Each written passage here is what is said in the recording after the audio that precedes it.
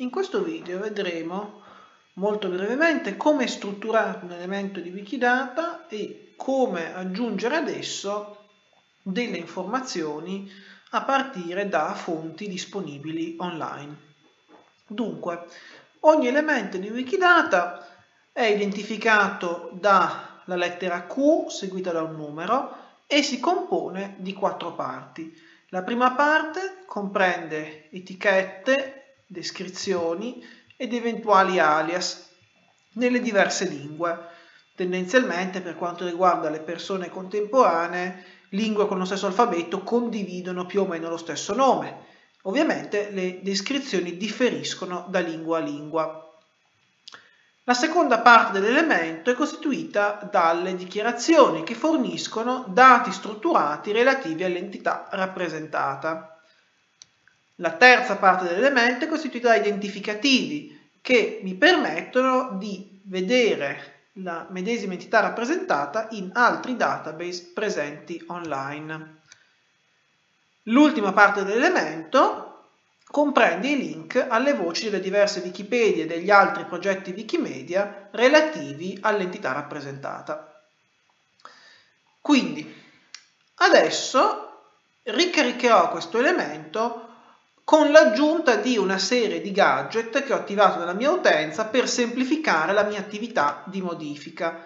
Se volete attivare i medesimi gadget potete andare in questa pagina Wikidata, gruppo Wikidata per musei, archivi e biblioteche, slash editaton mensile, scritto esattamente così, e in particolare alla sezione preparazione e seguendo queste istruzioni che trovate sia in italiano sia a fronte in inglese, potrete attivare appunto questi gadget, alcuni dei quali eh, potrete ora vedere all'opera.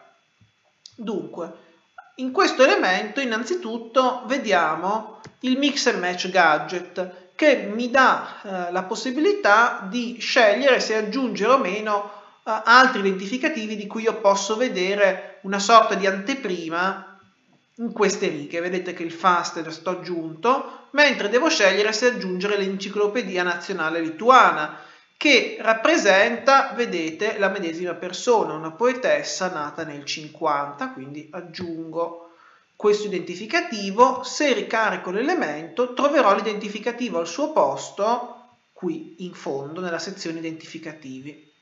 A questo punto posso aprire l'enciclopedia nazionale lituana ed usarla per fare ulteriori aggiunte al, all'elemento. Vedete che ho una data di nascita con precisione giorno, che posso andare quindi a sostituire a questa data di nascita che oltretutto ha come fonte Wikipedia. Wikipedia è sempre una fonte che si può rimuovere in favore di eh, fonti vere e proprie. Wikipedia non dovrebbe essere mai usata come fonte, quindi si può in questi casi rimuovere e aggiungo la data con precisione giorno. Così come l'Enciclopedia Nazionale Lituana mi dà anche una data di morte che posso aggiungere e quindi vado su aggiungi dichiarazione e aggiungo la data di morte.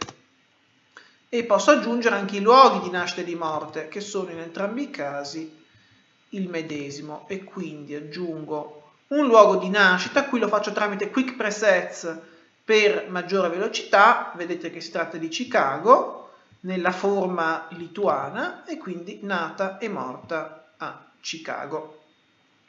Mi dice anche che è vissuta negli Stati Uniti d'America, quindi direi che si può aggiungere residenza Stati Uniti d'America. E eh, vedete che ci sono dei titoli di opere in lituano, quindi si può dire che abbia parlato ovviamente lituano e che abbia scritto in lituano. More Identifiers, vedete, mi propone l'aggiunta di altri identificativi, questo, in questo caso stati dal VIAF, cioè da questo clusterizzatore, da questo raggruppatore di identificativi forniti da biblioteche nazionali, vedete la nazionale tedesca, la nazionale lituana e la nazionale polacca, che in tutti e tre i casi, come certificano le date di nascita e nel caso della nazionale polacca anche la data di morte, rappresentano effettivamente la stessa persona. E quindi aggiungo gli identificativi tratti dal VIAF e ricarico la pagina andando quindi a vedere questi identificativi tratti dal VIAF che vengono ad occupare il loro posto e al tempo stesso potrò vedere le dichiarazioni che ho aggiunto ordinate al loro posto. Ovviamente mi viene richiesta una fonte. Questa fonte si può aggiungere nel modo più semplice usando UseSref, che è questo gadget che fa comparire questa icona. Questa icona mi permette di dire che io sto prendendo le informazioni dall'Enciclopedia eh, Nazionale Lituana, quindi copio l'icona, uso appunto l'icona di copia, vedete che diventa verde, si apre questo messaggio in alto a destra, risalgo nell'elemento e incollo il riferimento su residenza negli Stati Uniti, il, sul fatto che era una poetessa io posso rimuovere il riferimento da Wikipedia in polacco che non mi serve più e aggiungere l'Enciclopedia Nazionale Lituana, sul fatto che parlasse e scrivesse in lituano, sulla data e luogo di morte, sulla data e luogo di nascita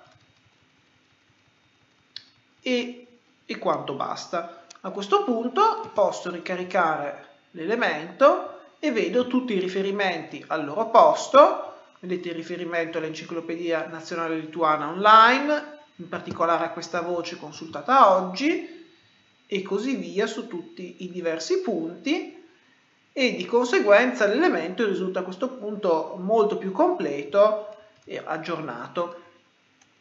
Vi ringrazio.